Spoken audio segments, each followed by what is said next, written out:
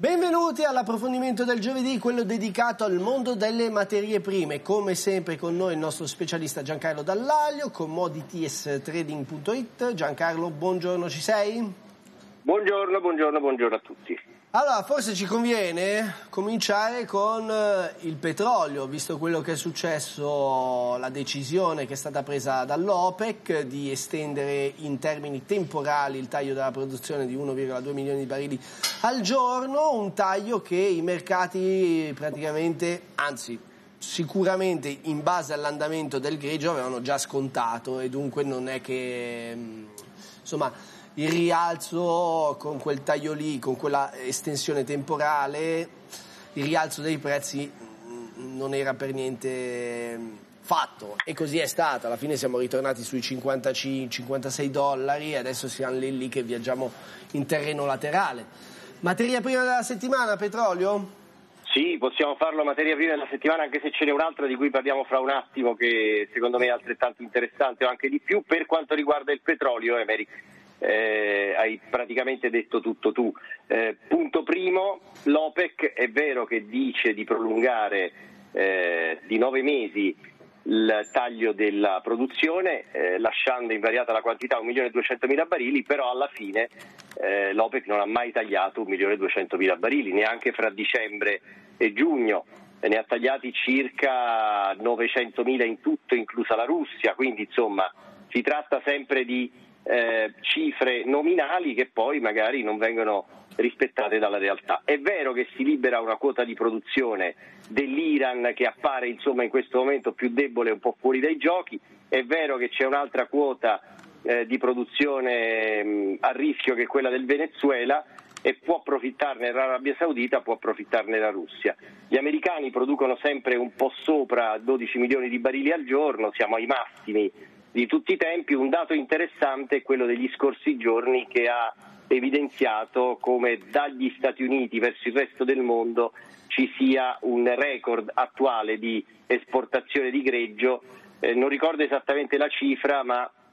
siamo ai massimi di tutti i tempi e questo considerando anche che non si sta esportando a, a, ritmo elevato verso la Cina perché c'è ancora in piedi la questione della guerra dei dazi, anche se almeno a parole mitigata durante la riunione del G20 della scorsa settimana, riunione in cui la diplomazia ha prevalso con Trump che diceva proseguiremo i colloqui ma saranno lunghi, dall'altra parte il suo omologo che ha ehm, affermato meglio un, ehm, un, accordo che uno scontro, che non è un proverbio cinese anche se veniva dal leader cinese. Insomma. Quindi lateralità per il petrolio, eh, 65 come eh, prezzo di estensione possibile, dalla parte bassa i 50-55 dollari. Eh, resteremo probabilmente in quest'ambito mh, a meno che non ci siano situazioni particolari durante l'estate, parlo di eventi geopolitici particolarmente gravi, attentati, attentati a petroliere eh, oppure aggravarsi della situazione di contrasto fra eh, Stati Uniti e Iran, ehm, nelle zone de- dei golfi medio orientali, eh, oppure crollo delle borse che sono sui massimi di tutti i tempi. Ieri l'SP 500 ha fatto un altro massimo assoluto, però ricordiamo che lo fa in concomitanza con un rendimento dei, eh, dei de- del decennale americano sotto il 2%, si continua a comprare obbligazioni, si continua ad acquistare oro che ha provato anche a ritoccare il massimo precedente relativo di qualche giorno fa, salvo poi essere respinto in area 1440 circa. Insomma, qualcuno mente, ne avevamo già parlato Emerick, e il petrolio potrebbe essere coinvolto in queste bugie che qualche mercato sta dicendo. Mm. Va bene, senti i livelli, quindi quale ci diamo? Ma io direi per il breve 60-55, eh, se ci dovessero essere notizie positive sia dall'economia globale, quindi dati macroeconomici che fanno pensare a un aumento della domanda, eh, sia eh, in termini di taglio reale della produzione da parte dell'OPEC che allora a 65, altrimenti 55 direi che è un buon supporto in questo momento tenendo presente che siamo ancora in piena driving season e quindi fino alla metà del mese di settembre più o meno dovremmo rimanere più o meno su queste quotazioni, insomma ehm, gli acquisti direi che i trader di breve li fanno intorno ai 56 dollari, eh, le vendite intorno ai 60 dollari attualmente. Mm. Va bene, allora era un'energetica l'altra materia prima della settimana? O... Eh no,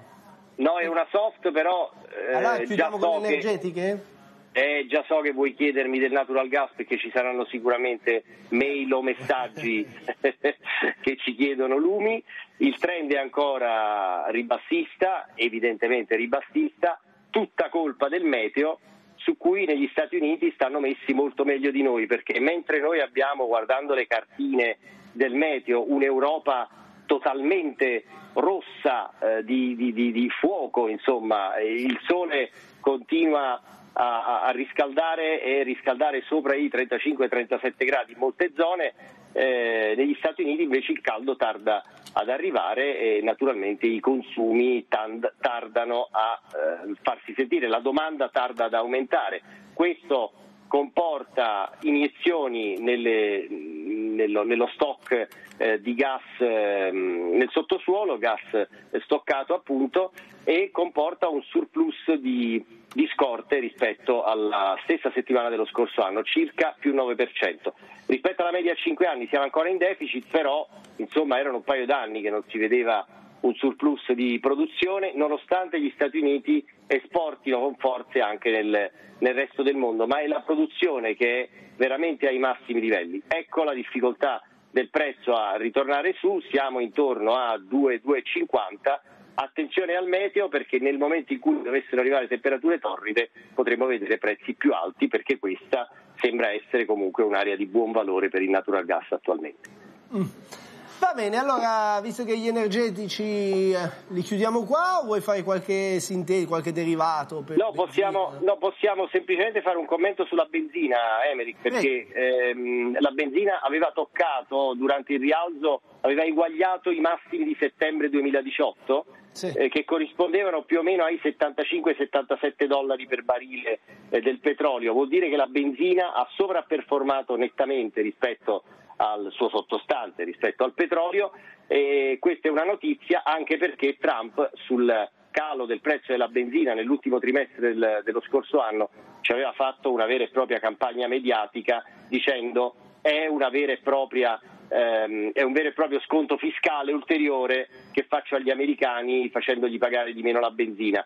Non so se arriverà qualche tweet anche perché il prezzo della benzina nel frattempo sta ritracciando e quindi insomma sicuramente Washington è più tranquilla in questo momento, i prezzi sono più equilibrati, però insomma credevo giusto fare questo, questo appunto sulla benzina verde. Va bene, allora andiamo a vedere questa commodity della settimana. Ma la commodity della settimana è il caffè, Emerick, di cui abbiamo parlato praticamente per tutto l'inverno, perché c'è stato grande interesse quando i prezzi scendevano, e scendevano in trend eh,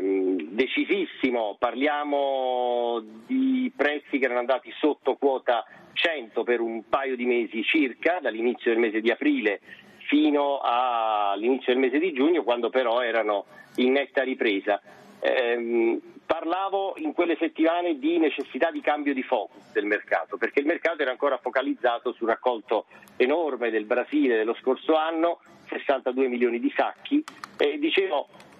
siamo sotto il prezzo di produzione, I, gli agricoltori sono alla disperazione, soprattutto quelli, quelli, brasiliani, ma sicuramente ci sono commercial che stanno comprando eh, caffè. Nel frattempo il posizionamento dei large speculators, quindi degli istituzionali, era decisamente short, eravamo arrivati circa a 80-85 mila contratti al ribasso eh, entità che si è ridotta notevolmente, anzi questa settimana probabilmente potremo avere un dato che elimina completamente lo short a giudicare dal movimento che c'è stato perché dai minimi di metà giugno a 97 poi c'è stato un ulteriore rally rialzista che ha rotto i massimi precedenti e adesso siamo sui massimi di febbraio del 2019 per quanto riguarda la scadenza settembre sul caffè. Ieri si è arrivati a testare millimetricamente quota 115 per poi chiudere più giù di circa 200 punti a 113, però c'è stata una giornata eh, di rialzo per il caffè, il focus è cambiato, l'USDA ci dice che ci sarà una riduzione del raccolto brasiliano per il prossimo anno cosa ampiamente prevedibile, anche perché siamo in un ciclo biennale off in cui le, eh, la resa delle piantagioni è inferiore rispetto agli anni on e quindi eh, tra i 58 e i 52 milioni di sacchi ci sono le proiezioni di USDA e di altri enti privati. Inoltre anche dalla Colombia e dal Vietnam ci sono ehm, proiezioni per un deficit di produzione, ma la notizia più importante è un aumento della domanda esponenziale. Lo avevamo sottolineato già nei mesi scorsi, Emerick. Per esempio Starbucks che aveva ehm, dichiarato di eh, avere in programma di aprire circa un punto vendita ogni due giorni in Cina, significa circa 600 punti vendita eh, per eh, il 2019. Eh, I lavori procedono e eh, significa che in Cina c'è un grande aumento di consumo di questa bevanda. Starbucks sappiamo insomma, che è una catena che si dedica anche alla commercializzazione di caffè nel famoso bicchiere di plastica che immagino adesso diventerà di carta perché insomma c'è un po' questa eh, nuova tendenza al, all'ecologia e all'immettere quanto meno plastica possibile eh, nel territorio. Queste sono un po' le motivazioni eh, che mi portano a eleggere il caffè commodity della settimana perché ha fatto tra l'altro appunto quattro sedute notevoli. Oggi è festivo negli Stati Uniti perché è 4 luglio, domani vedremo la chiusura della settimana che secondo me sarà a ritmi ridotti perché è una specie di ponte, no? poi si va direttamente al sabato e la domenica, ci saranno volumi ridotti sulle commodities. Andiamo in pausa, resti con noi? Certamente. Dai, pausa e torniamo subito con la seconda parte di Commodity Trading.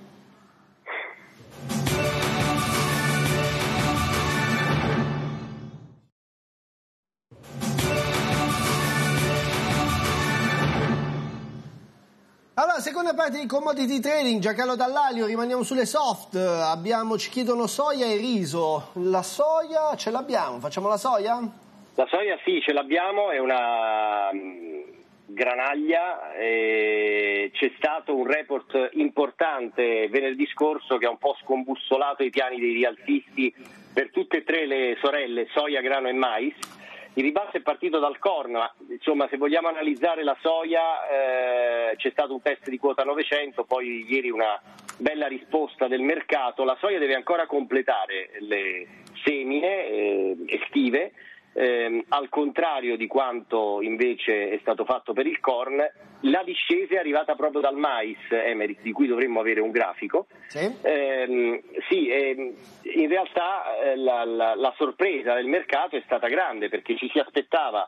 ci si aspettavano acri non seminati rispetto alle intenzioni di semina di marzo per 5 o 6 milioni eh, e invece eh, è venuto fuori un 1 milione 09 di acri non seminati. Questo ha immediatamente buttato giù il prezzo del corn che è andato a fare anche il mid down, quindi una, della, l'omologo della sospensione per eccesso di ribasso del mercato azionario, salvo poi chiudere un po' più su in area 4,25. Chiusura della settimana quindi brutta, apertura eh, anch'essa sotto i livelli di, di supporto e poi eh, le ultime due sedute recupero, soprattutto ieri, ehm, perché giunge, giungono anche notizie di possibili aperture alle importazioni da parte dei cinesi sia di soia che di mais per andare a sostituire ehm, l'alimentazione della, dei maiali negli allevamenti. Sappiamo bene che c'è stata la questione dell'influenza suina in, eh, in, in Asia, in, in Cina, che ha colpito moltissimi allevamenti e c'è una grande crisi in Cina eh, per questo motivo, una grande crisi degli allevatori. Ebbene, gli allevatori alimentavano eh, i maiali con gli scarti dei ristoranti e probabilmente si dice che possa essere una delle cause della, eh, dello svilupparsi di questa influenza, di questo virus letale per, per i maiali e, ehm, quindi hanno deciso di eh, sostituire questo tipo di alimentazione con quello altamente proteico dato dalla soia e dato dal corno, quindi potrebbero aumentare la domanda di soia e di mais ed ecco il motivo, uno dei motivi della bella seduta di ieri per il corn, più 17 punti, più 9 punti per la soia, quindi ritorna un po' di ottimismo su queste due granaglie, il focus a questo punto è sull'andamento dei raccolti perché è vero che si è seminato un tot sul mais e ormai insomma, è acclarato, non solo quest- cifre potrebbero essere viste in basso, ma potrebbe essere rivisto anche la resa per acro, dato molto importante perché poi determina le scorte finali e anche il rapporto fra scorte e utilizzo. Quindi tutto in ballo e i rialzisti possono cominciare di nuovo a fare degli ingressi, magari tenendo come supporto proprio i minimi di lunedì scorso. Metalli, dai che abbiamo ancora pochi minuti, hai fatto i compitini sulle terre rare, nickel? Allora, ho uno, ho uno, speciale sul nickel la prossima settimana, Emerick, perché ah. me lo di, ti dico la verità, me, me, lo stanno preparando, me lo stanno ah, preparando. Eh. Hai delegato la strategia del forward, dell'inoltra? Bravissimo, dell'inoltra eh, sì, perché in realtà come i nostri telespettatori sanno non non, ehm, non, faccio trading, non faccio investimenti sul, sul nickel o sulle terre rare, ma non perché non siano interessanti, piuttosto perché la liquidità eh. è minima e quindi ovviamente preferisco stare su quelle 12 commodity su cui c'è grande liquidità. Per quanto riguarda i metalli più commerciali, l'oro per esempio, quello di cui si parla di più, ieri eh, tentativo di test dei massimi in area 1445, eh, poi sventato, insomma, rientrato in chiusura di giornata, però insomma, fa strano che con borse sui massimi e dollaro che rimane più o meno stabile, l'oro tenti ancora degli affondi rialzisti. Ed ecco perché in apertura di collegamento, Emery, ti dicevo, qualcuno mente e, e vedremo insomma ma guarda come non mi fidavo insomma del rialzo non mi fido neanche del ribasso dell'oro cioè proprio eh, sì, non sì, mi fido in questo periodo sì sì sì assolutamente certo. No no sembra che ci sia non solo una buona forza relativa e quello lo vediamo per esempio dal confronto con l'argento, l'oro è arrivato ai massimi da 30 anni nel ratio, nel rapporto tra oro e argento che è andato sopra 90 eh, e tuttora è sopra 90, 92,6 eh, quest'oggi, ma c'è anche un altro discorso che ehm, ci sono grandi flussi in acquisto visti sugli ETF, eh, insomma gli ETF possono misurare i flussi in acquisto e in vendita perché naturalmente devono poi fare le coperture con l'oro fisico e quindi mi giungono notizie nell'ultimo mese di ottimi flussi in acquisto sul metallo giallo. Mm. Va bene, senti, siamo in chiusura Giancarlo, grazie mille come sempre Giancarlo Dall'Aglio, commoditiestrading.it, ciao! Grazie a tutti voi, una buona giornata. Terminiamo l'approfondimento legato al mondo delle materie prime, andiamo in pausa, Forex Update e subito analisi tecnica con Andrea Cartisano.